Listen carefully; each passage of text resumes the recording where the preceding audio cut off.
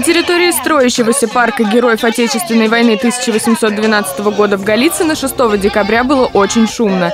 Дети и взрослые в ярких русских народных костюмах устроили настоящее праздничное гуляние. А все потому, что завершился второй этап благоустройства парка, который быстро становится любимым местом отдыха жителей и гостей города. Благоустройство территории проходит в рамках губернаторской программы «Парки Подмосковья». Глава Одинцовского округа Андрей Иванов лично приехал проверить качество новой парковки, пешеходных дорожек, освещения, убедиться, что новые детские площадки и хоккейная коробка соответствуют всем стандартам. Подчеркну, что это не только парк, это еще и место, э, где будут проводиться основные, э, основные культурно-массовые мероприятия, потому что до этого, э, так как нет других площадей и парков, мы делали это на привокзальной площади, что, конечно, неудобно и для проезжающего транспорта, и для работников железнодорожного вокзала. Поэтому здесь однозначно формируется уже точка притяжения для всех жителей, гостей Голицына.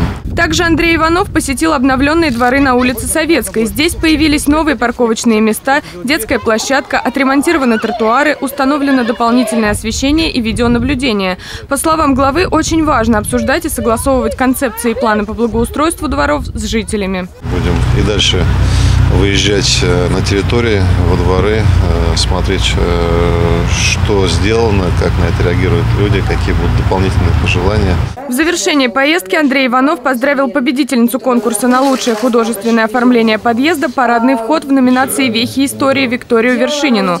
Коренная жительница Голицына, начинающий архитектор, рисует с самого детства. Говорит, такую работу делала впервые. На создание картины ушел целый день. Мной был выбран один из самых главных наших архитектурных памятников нашего края – это Спасо-Преображенская церковь.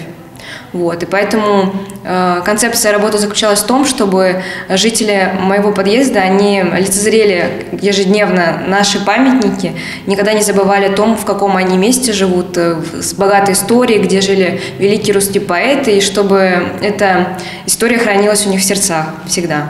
Елена Морозова, Станислав Трифонов, телекомпания «Одинцова».